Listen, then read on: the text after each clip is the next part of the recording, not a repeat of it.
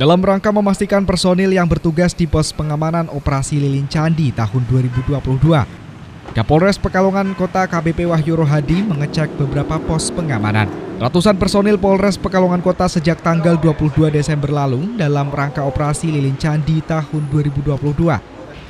Ditempatkan di beberapa titik pos pengamanan bersama jajaran TNI, Dinas Perhubungan, Satpol PP, dan instansi terkait lainnya.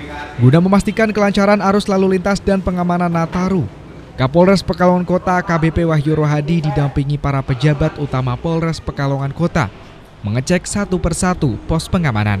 Seperti halnya yang dilaksanakan kali ini. Rombongan melaksanakan patroli dan menyisir pos pengamanan seperti pos Grogolan, pos pengamanan exit tol, dan masih banyak lagi. AKBP Wahyu Rohadi dalam kunjungannya tersebut menitipkan pesan untuk tetap meningkatkan kewaspadaan dari berbagai macam gangguan Kamtipnas yang biasa dan kapan saja terjadi. Orang nomor satu di Polres Pekalongan Kota tersebut juga berharap agar pelaksanaan Nataru bisa berjalan lancar, aman, tanpa adanya gangguan, sehingga bagi umat Kristiani di mana pun berada, bisa merayakan Natal dengan hikmat dan penuh sukacita. Saif Robani, Batik TV melaporkan. Anh tiếp tục.